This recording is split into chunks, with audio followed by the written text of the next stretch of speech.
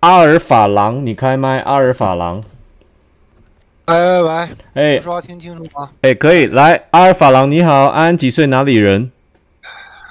你好，三十六岁内蒙人。三十六岁，内蒙的网网友啊，内蒙的这个狼哥哈，来，狼哥，你你想要问那个博汉什么问题？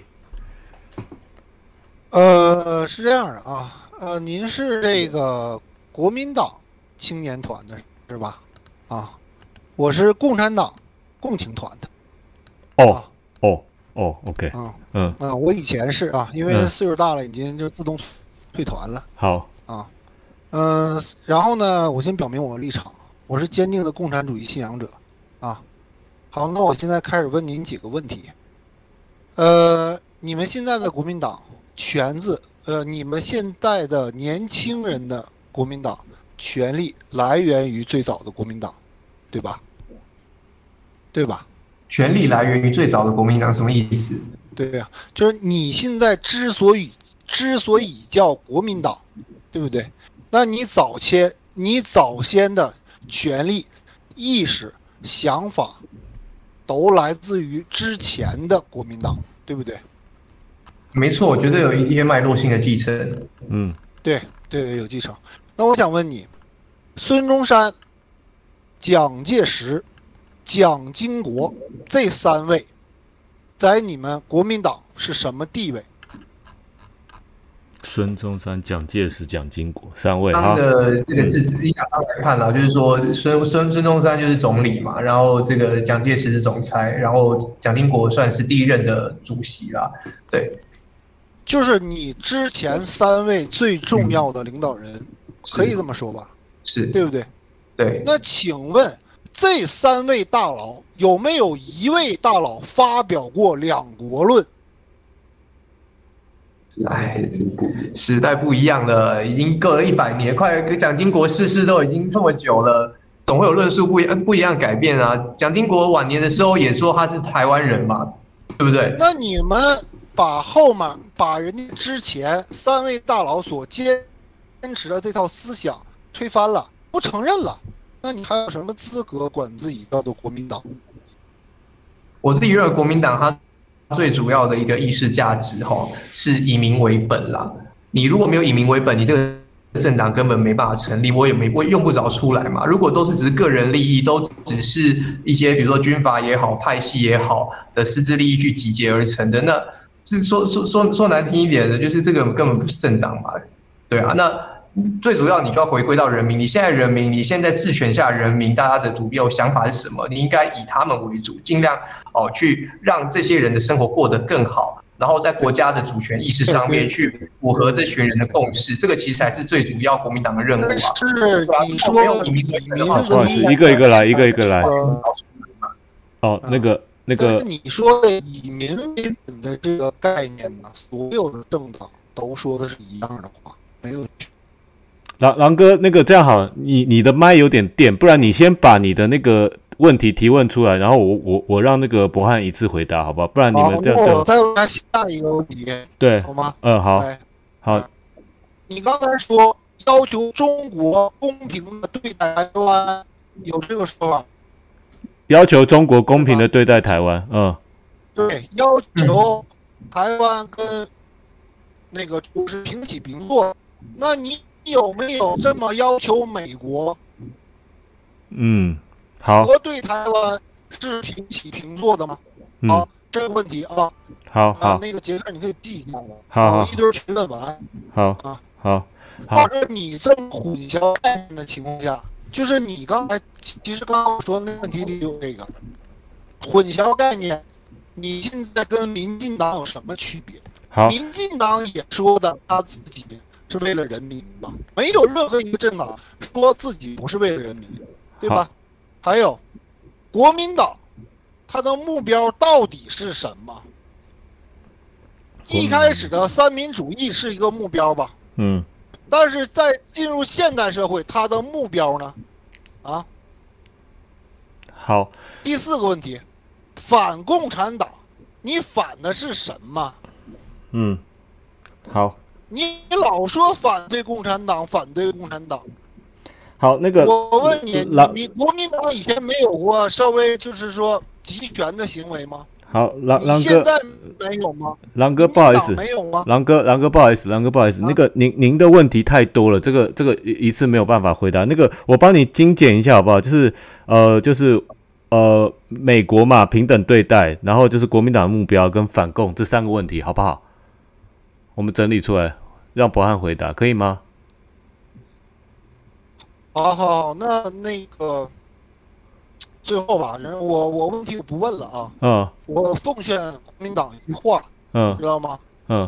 选票拿到了，不代表政权拿到了，嗯，好，明白什么意思吗？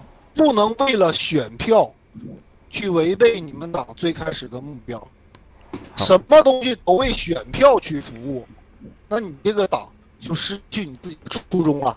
好，啊，好，好了，我。我说完了。好，谢谢谢狼哥啊，来那个博汉，我我我我有整理一下那个刚刚狼哥问的问题了，整整理这三个。第一个问题就是，呃，我们你你就是说你刚刚讲说要要要求那个呃老共啊，就中华人民共和国这边平等的对待我们台湾啦。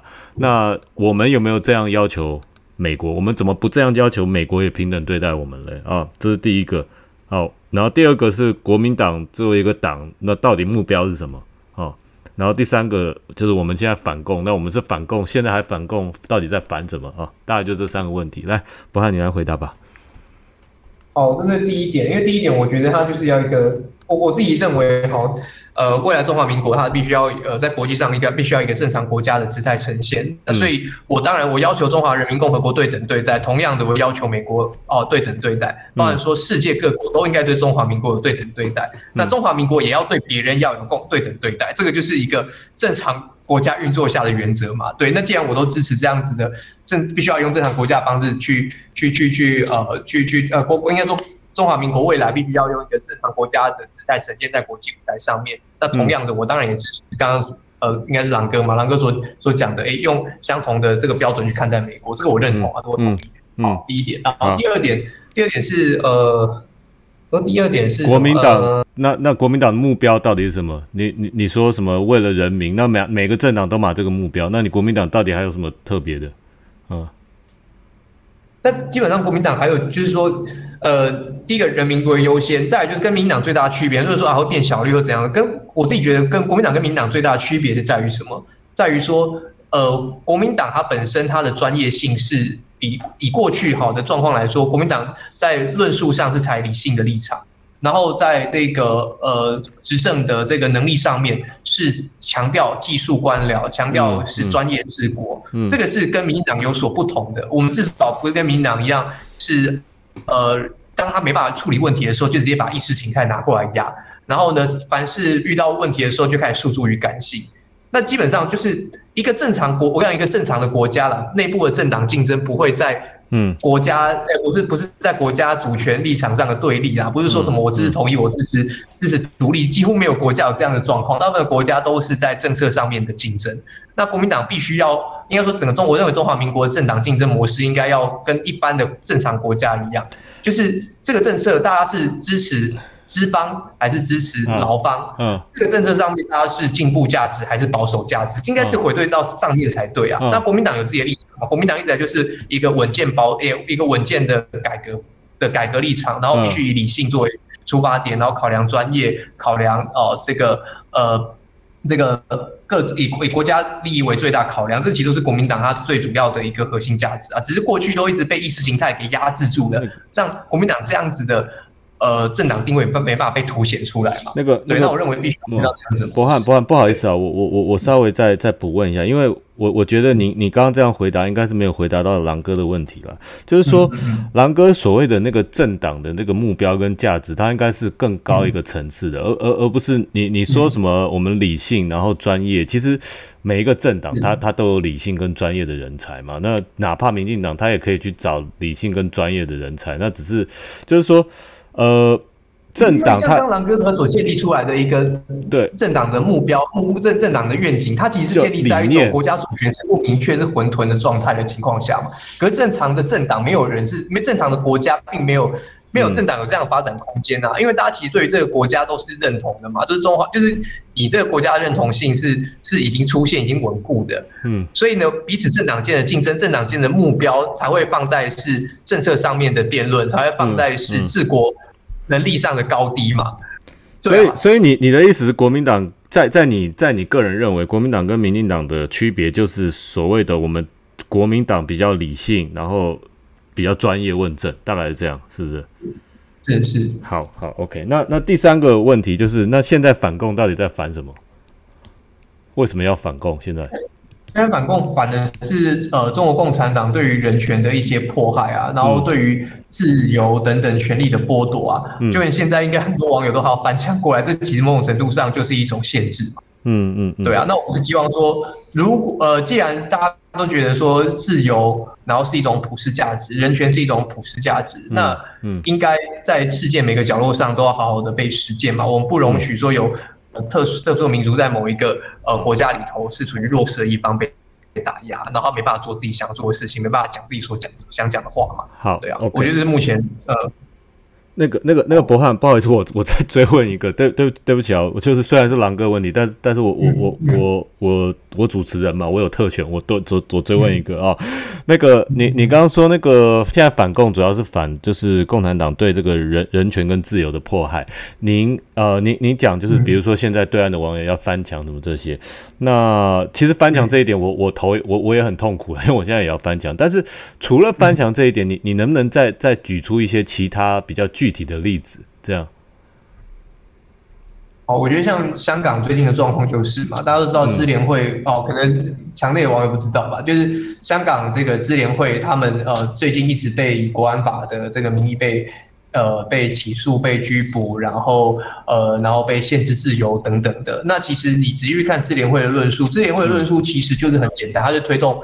呃，民主自由价值，那甚至他是他论述还是没有所谓的分离，没有在以中国角度来看，其实并不算分离主义，他是要支援在大陆的同胞，嗯，哦，让大陆的同胞能够有更多的民主、更多的自由发展空间。他这样的论述，反而在香港已经完全容不下去了，嗯，然后被以国安法来起诉，被颠覆国家的民呃政这国颠覆政权的这个呃民意所打压，嗯，对啊，像这件事情，我觉得就是一个，就是。我我我我我自己一个人没办法在公开场合上敢勇敢的讲讲出自己的想法，然后还对还还不会被国家给给受到任何的压迫限制。我觉得这个是这个是中在在在这中国共产党所执政下地区没办法做的事情。好，好，对啊，好，OK，好，了解。谢谢谢博汉回答这个刚刚是这位狼哥啊这位网友的问题。好，那我们再接下一个啊。